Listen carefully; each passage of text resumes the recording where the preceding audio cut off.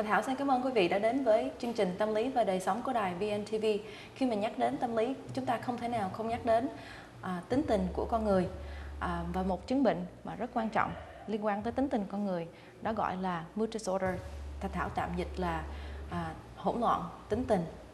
Và một vị vị khách mời à, mà à, đã nghiên cứu và làm việc với những người bệnh à, đã có chứng bệnh mood disorder này này là bác sĩ Dr. Ken Lane. Hi Dr. Lane, welcome to the show. Thank you. It's a pleasure to be here. So um, today's topic I wanted to talk to you about was mood disorder. So can you tell us a little bit about what mood disorder is? Yes. Well, for, first of all, well, one in five people in all of our families have some kind of psychiatric condition, and only half of them get help. One serious one is the mood disorders. That's depression, manic depressive disease, and some other conditions. With depression, it's not sadness. Mm-hmm. Because when you're sad, you have self will, mm-hmm. where you can pull yourself up. When it goes to depression, it's so much worse that it's a medical condition which drags you down and makes you feel helpless, hopeless, concentration difficulty, mm-hmm. forgetfulness, indecisive, and you want to be dead. Mania, on the other hand, is not just happy. We have all rights and privileges to be happy or sad, and we can self will those things to control them. Mm-hmm. It's when it goes beyond self will, where they get manic, days without sleeping, hyperspending, traveling, grandiose thoughts. They think they're some special powers and things like that. And that's when moods go bad. So, theo bác sĩ tâm lý Dr. Lane nói là khi mà một một trong năm à, người trong gia đình chúng ta là sẽ có một trong à, năm người là bị một triệu chứng của tâm thần. Và trong những cái triệu chứng đó là mình có thấy từ trầm cảm cho đến mania có nghĩa là quá à, quá sức là tạm dịch là quá sức là vui. À, là mình không có thể nào à, ngừng lại được có nghĩa là mình có thể lúc đó mình làm những cái hành động quá mức buồn ở trầm cảm đây là không phải chỉ là bị buồn nhưng mà trầm cảm đây là khi mà một con người không, không có cảm giác à, là có thể à, trải qua những cái ngày sắp tới. Người ta có khuynh hướng muốn tự giận à, và không có à, những cái sở thích như lúc trước nữa. Đó là trầm cảm. Và còn mania có nghĩa là một con người à, mình bắt đầu mình làm giống như mình à, không có ngủ được à, suốt ngày mình cứ à, à, làm những cái hành hành động à, hơi nguy hiểm hay là không có như là à, những lúc mà mình đang bình thường. Là bác sĩ đang nói là trong một trong năm những người trong gia đình sẽ có một người à, bị những cái triệu chứng đó. So, for mood disorders, what how can we recognize some of the symptoms, um, like you said earlier, from mania to depression? But what are the easiest way to kind of recognize that we have a mood disorder? When you look at everybody else's moods, they're a certain way, they're happy to sad. But those moods are so toxic and so deep into depression or so hyper, they disrupt their social functioning, their capability to work or go to school, and their free time. People notice there's something wrong. Gotcha. Theo bác sĩ uh, Dr. Lane nói là khi mà mình so với những người xung quanh của chúng ta mà mình thấy là à, mình khác, mình không có à, hành vi của chúng ta giống như là nó quá mức hay là mình như mình quá buồn, mình không có thể nào mà à, đi làm việc hay là mình không có thể nào mà mình ngủ, coi như là một cái hành vi quá à, quá không có bình thường như là những người xung quanh thì cái đó mình là một cái triệu chứng mà mình nên coi thử coi mình có bị mood disorder hay là không. So aside from being different, um, what, what else would, would people say, um, how, how else would people recognize like aside from saying well i'm different from everybody maybe they're just good at kind of blending in um, how can we self-assess and say well you know i i have a mood disorder how can we say that Well, well, people have a right to feel good. And the treatments are so effective that there's no reason why the half the people who don't get treatment don't go out there and get it. Mm. Their medical insurance pays for it. It's not a self will problem. It's not a personal weakness, which half the people think it is. Mm-hmm. It's actually a medical condition. right And so when they have these bad feelings, there's good news about bad moods. They're very treatable. Untreatable depressions last six months to two years. Mm. And they just come out of the blue. It's not from anything that happened in your life. Mm. And manias, where people shoot up into a mania, they're very disruptive. I mean, they're going to end up in a hospital. The police will be called because they're mm-hmm. reckless driving, spending, getting in fights, screaming and yelling, things like that. So it's noticed the manias, and they think they're just fine. Mm. That's the problem. But with depressions, people know they feel helpless. There is no help. There is no hope. I can't concentrate. I'm forgetful. I feel like you're losing your mind. And they, if they try to tough it out, they're just suffering for no good reason. À, Thảo hỏi à, uh, Dr. Layton là ngoài cái nếu mà mình không có thấy mình khác với những người xung quanh chúng mình thì làm sao mà mình biết được là mình có một cái mood disorder thì bác sĩ nói là uh, nếu mà mình mania có nghĩa là nếu mà mình uh, trong cái tình trạng mà uh, quá uh, quá sức á, thì chúng ta sẽ làm những cái việc mà sẽ để gây sự chú ý uh, có thể là mình bị uh, cảnh cáo uh, trong pháp luật hoặc là mình có thể à, những người xung quanh mình sẽ nói cho mình biết mặc dù mình cảm giác như mình không có gì hết. Còn nếu mà mình bị bị trầm cảm gọi là depression thì có thể là những người xung quanh của chúng ta sẽ thấy là mình càng ngày những cái sở thích của mình nó sẽ khác. À, mình cảm giác như là mình không còn à, suy nghĩ như lúc trước nữa.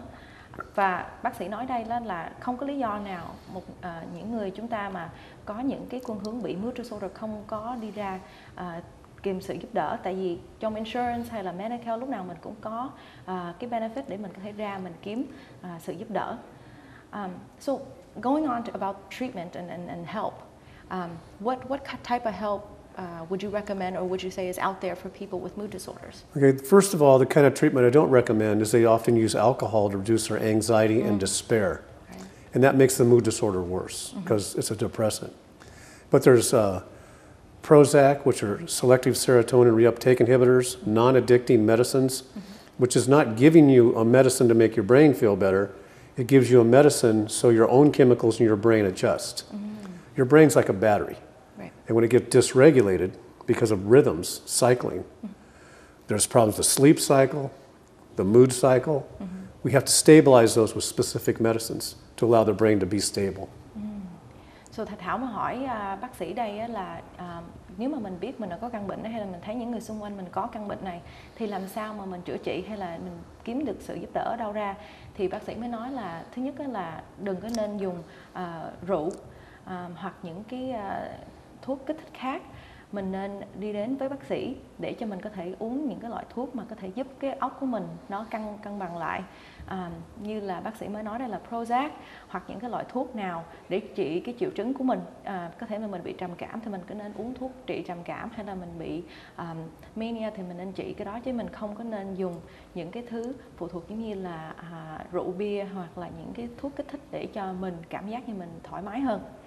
So that's that's with medicine what about therapy how can therapy help Right. We, being a psychologist, we'd rather try to talk to someone. Mm-hmm.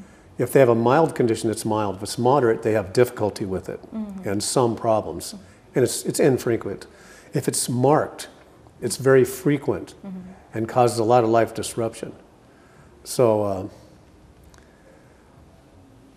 that's, that's serious stuff. So hospitalization would you say would it Um, only when there's a person threat to themselves or someone else, then we have hospitalization. Ah. Many of the moderate conditions, psychotherapy, cognitive therapy, for right around six months, they get a 70% improvement. Mm-hmm. Because instead of having an automatic negative thought, they learn that there's more balanced thoughts. Mm. We're not going to say, if you feel sad, feel happy. Mm-hmm. We say, feel realistic. What do you have you're happy with? Mm. And reframe.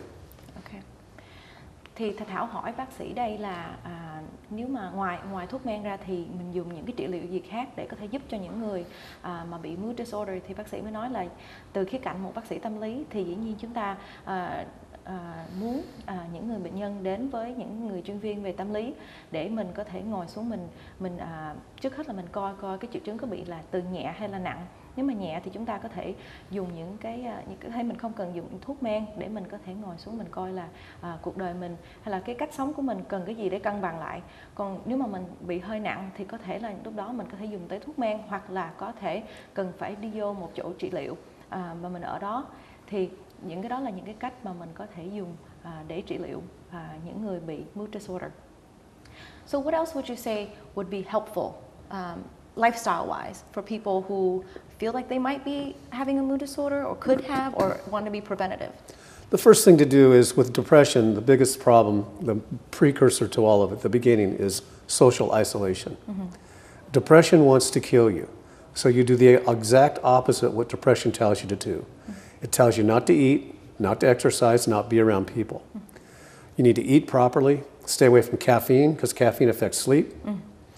Um, eat healthy, be around people, and see if that becomes contagious being around people. And diversify, do new stuff. Because if you just withdraw in and try to get more rest, you get worse. Ừm, ok. Thì Thà Thảo mới hỏi bác sĩ là um, cái cách sống của mình um, có thể làm cách nào để cho mình uh, đừng bị hay là nếu mà mình đang bị thì mình có thể giảm bớt lại lại những cái triệu chứng. Thì bác sĩ mới nói là cái cách sống một cách sống uh, uh, healthy có nghĩa là mình nên mình mình nên khi mà mình thấy buồn mình trầm cảm thì những người mà đang bị hay có cái khuynh hướng là sẽ ở nhà uh, bớt đi lại những cái chỗ đông người hay là mình không có còn những cái sở thích lúc trước nữa thì bác sĩ mới nói đây nếu mà mình có những cái khuynh hướng hay là mình uh, không có thích nữa thì mình nên làm ngược lại. Có nghĩa là nếu mà mình thấy là mình không muốn ăn thì mình nên ăn mình thấy mình ít ngủ thì mình nên tập cho mình à, những cái cách nào để mình ngủ mình nên tập thể dục nhiều à, mình đừng nên uống cà phê và những cái gì có chất caffeine tại vì nếu mà mình làm vậy thì à, mình sẽ không có ngủ được à, và mình có thể trong một cái trạng thái khác nguy hiểm hơn thì những cái cách sống à, tốt để cho mình có thể giữ gìn sức khỏe của mình là một cái cách để cho mình ngừa hoặc là giảm bớt đi những cái triệu chứng bị mood disorder. So um, like let's say let's let's talk about severe cases, right?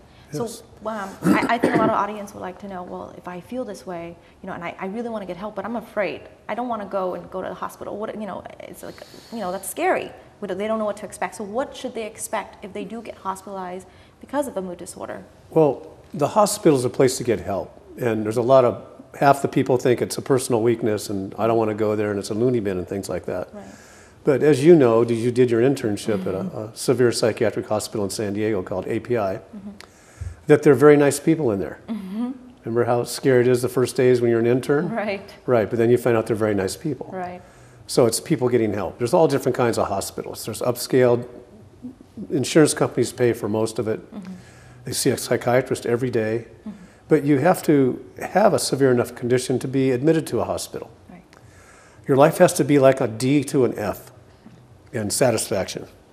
If you're having a C, an average, or everything's kind of okay, there's no reason for hospitalization. Psychotherapy usually takes care of it. Okay. Combination of psychotherapy and medicine. And they put you in a hospital to raise the medicine dose up high enough to get the good effect you want and then get you out of the hospital. Hospital stays are five days, 10 days, or things like this. In the 80s, it was six, week, uh, six weeks, eight weeks, or more. Wow. So the techniques have gotten better. The medicines are less toxic. Um, they don't have the side effects they used to have. So But they want to get you in and out of the hospital. people shouldn't be concerned that it's like a permanent thing when they get hospitalized. It's No, not. no, Right. Okay. no. We, as you saw, they go flying through there. they come in sad, depressed, and go out happier, and then they just get better and better as they go off. Right. Thì thì Thảo muốn hỏi đây là tại vì có rất là nhiều khán giả à, uh, email về hỏi Thạch Thảo là uh, khi mà mình đi vô nhà thương uh, vì một triệu chứng tâm lý uh, thì như thế nào và nó có sợ hay không hay là người ta người ta rất có nhiều cái thắc mắc thì Thạch Thảo mới hỏi bác sĩ là thí dụ mà mình đi vô bệnh viện à, vì một triệu chứng tâm thần thì mình nên à, mình mình sẽ được trị liệu như thế nào? Thì bác sĩ nói là à, khi mà người ta vô thì nếu mà mình có một à, bệnh tâm thần thì dĩ nhiên mình sẽ gặp một bác sĩ à, À, chuyên môn về thuốc uh, cho tâm thần là psych, uh, psychiatrist. Và trong trong trong đó thì người ta sẽ điều trị thuốc men cho mình. Và sau đó thì mình vẫn gặp được một sĩ bác sĩ tâm lý là psychologist. Rồi um, để cho mình có thể uh, dùng therapy uh, hàng ngày. Nhưng mà theo mà bác sĩ uh, Dr. Lee nói thì mình chỉ ở trong trọng khoảng 5 tới hay là 10 ngày thôi. Nó không phải là lâu hay là không phải là một cái uh, mình mình bị ở mình bị bắt buộc ở hoài cái này là theo cái chứng bệnh hay là cái triệu chứng của mình. Nhưng mà thông thường thì nó sẽ là một cái quá trình rất là nhanh giống như mình bị một một cái uh, một cái căn bệnh khác uh, mà không phải là uh, một bệnh tâm thần thì cái này theo thạch thảo thấy thì nó ừ, mình mình đừng có nên là nếu mà mình đã có một cái triệu chứng nào hay là mình có một cái khuôn hướng không có tốt à, ảnh hưởng tới sức khỏe và đời sống của mình thì tại sao mình không có nên đi à, đi đi đến bác sĩ? Và nếu mà cái trường hợp xấu mình cần phải đi vô bệnh viện mình đừng có nghĩ đây là một cái à, điều không tốt hay là để cho mình mất mặt hay là à, những cái người khác sẽ nói xấu về mình. Tại vì đây là một cái sự trị liệu giống như nếu mà mình bị gãy tay hay là mình à, cần một cái à, mổ xẻ gì thì mình dẫn vô bệnh viện thì đây cũng là một cái một cái lúc một cái cơ hội để cho mình vô mình trị liệu Um, well, we have a couple minutes left, and I really appreciate you coming. And, and I think there's so many things that you can definitely educate our audience with. Um, is there any last words you'd like to, to kind of let us know um, about mood disorders before we go? Yes, if you go on the National Institute of Mental Health.com Okay. and look up mood disorders, anxiety disorders, psychotic conditions, any condition might be th- thinking is your family, mm-hmm. they have a very nice checklist which can tell you about when it's necessary. Mm. Or call any hospital and they'll have a person or a hotline to talk to you about symptoms. That You don't have to go in a hospital, mm-hmm. but you can call up and ask if it's severe enough to go in a hospital. Anonymously. Anonymously, right, and ask about, there's API, Alvarado Parkway Institute of Behavioral Health Systems, there's, all over the world, there's good psychiatric hospitals. Thank you. Um, bác sĩ uh, Dr. Layton nói là à, nếu mà chúng ta à, muốn biết thêm thì nên đi lên trang mạng à, National Institute of Mental Health à, .com Thảo, Thảo Thảo sẽ có trang mạng đó trên màn hình cho quý vị à, để biết thêm về những cái à, triệu chứng để cho mình biết rõ hơn là à, mình có thật sự bị cái bệnh đó hay không nhiều khi mình không bị nhưng mà mình mình lo thì mình muốn lên mình coi thì cũng được còn nếu mà quý vị có nhiều cái thắc mắc hơn hay là nghĩ là mình hay là người thân của mình cần sự giúp đỡ thì có thể gọi bất cứ cái bệnh viện nào à, như là bác sĩ Dr. Layton à, ông làm ở à, um, bệnh viện Alvarado Parkway Institute thì à, gọi những cái bệnh viện đó họ sẽ có những cái người chuyên môn có thể giúp quý vị trả lời hoặc cho mình biết là mình có nên uh, vô hay không.